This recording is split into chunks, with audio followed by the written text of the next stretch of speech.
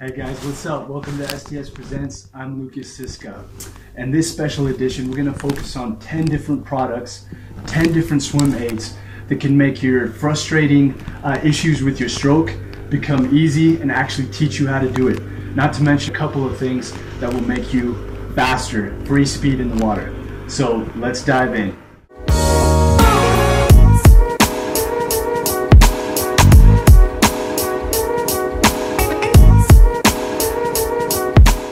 Guys, do you feel like this when you try to kick across the pool?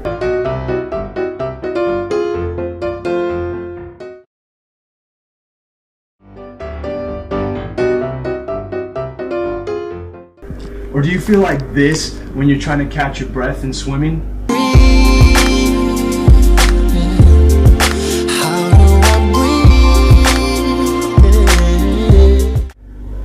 Don't worry, you're not alone. A lot of people feel that way.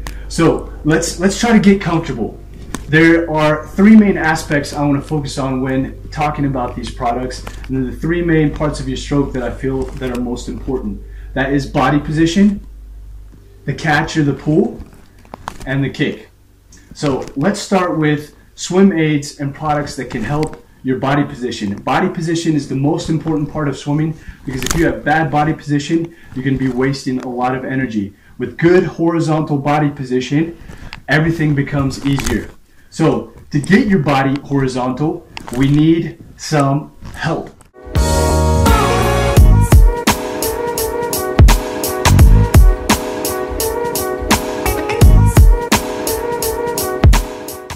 All right, I have a video on this on how to teach you how to do it without any swim aids, but we all could use some, some help when it comes to this. All right, the first product that I want to tell you about is buoyancy shorts. Yes, that's right, buoyancy shorts. You put them on, they actually help your lower half float. Um, by, by learning how to feel the correct position with the buoyancy shorts, you will be able to feel the correct body position. All right, so number two, ankle buoy. All right, this is like a normal pull buoy, but it's for your ankles. You actually put it around your ankles and it will make your feet be in the correct position uh, where you're supposed to be when you have uh, the correct body position. So if you swim with the ankle buoy, you will again learn how to feel where the correct body position lies. All right, so if we're talking pull buoys, number three, let's talk about the normal pull buoy. So we, we have buoyancy shorts, we have an ankle buoy, but we could also use a normal pull buoy that is used in between the legs all the way up, all the way up, and that will also aid you in keeping your body horizontal on the water. And then you can focus on your on your catch, and that's what we're going to talk about next.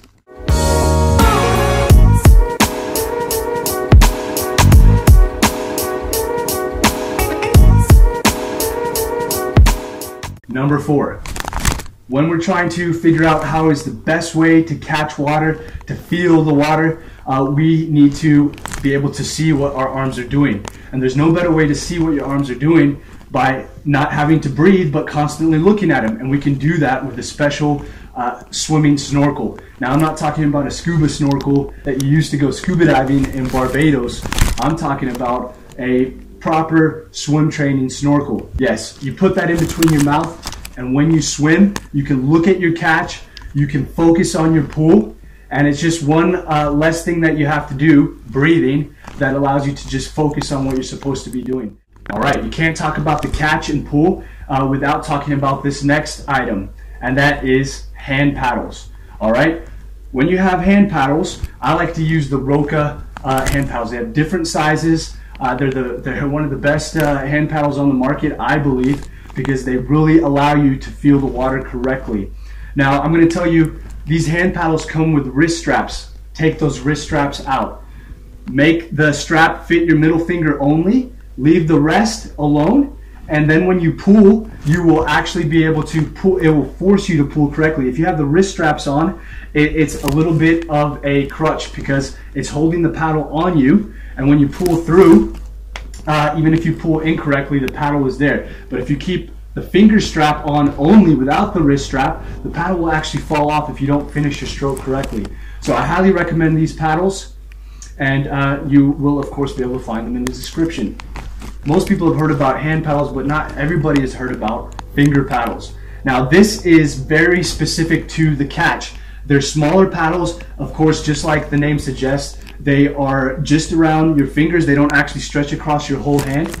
And this really allows you to focus on your initial catch. By focusing on the initial catch and starting your stroke off correctly, you will learn how to pull more water. So a great tool for this are the finger paddles. All right, so we've talked about body position, we've talked about the catch. Now the third element that I want to focus on is the kicking, of course.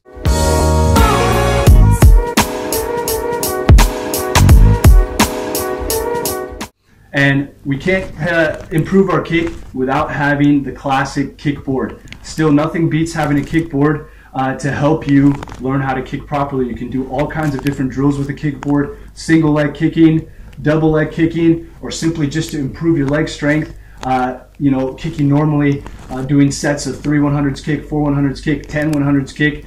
Uh, kickboard is huge in teaching you how to swim, uh, kick properly. Then, of course, uh, to improve our ankle flexibility and learn how to feel the water better on our feet, uh, I highly recommend getting the fins that I have in the description. You don't want to get heavy, bulky fins uh, that will, especially if you're a new swimmer, that will uh, be more of a strength workout. I'm looking at the type of fins that will actually help your technique. And I will put that type in the description. And it's the kind I use and find most useful in my triathlon training.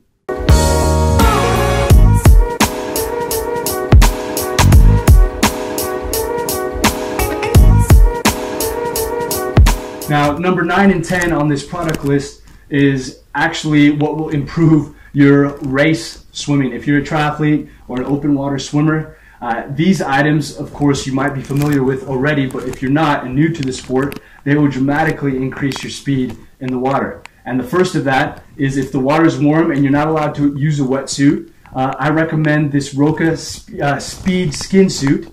Uh, believe it or not, guys, uh, you can wear this over your triathlon suit and when you swim with it, it will actually make you faster in the water. Uh, it depends what level swimmer you are, but you can gain seconds on the 100 and over a long distance that, that can add up to being minutes free speed. All right.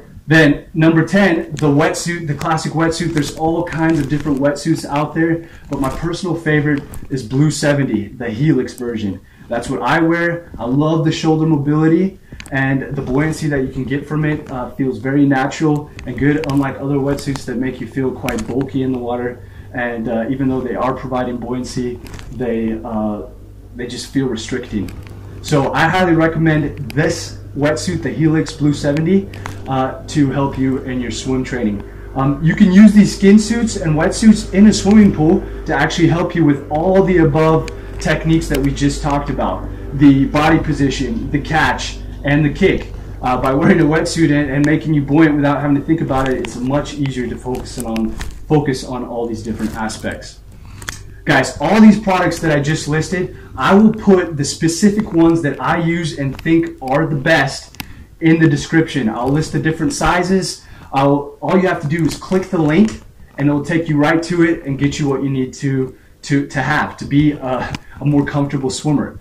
So don't miss out on trying to learn how to swim easier and more effectively with these 10 different swim aids. With STS Presents, I'm Lukas Siska, and I love to hear from you. Take care for now.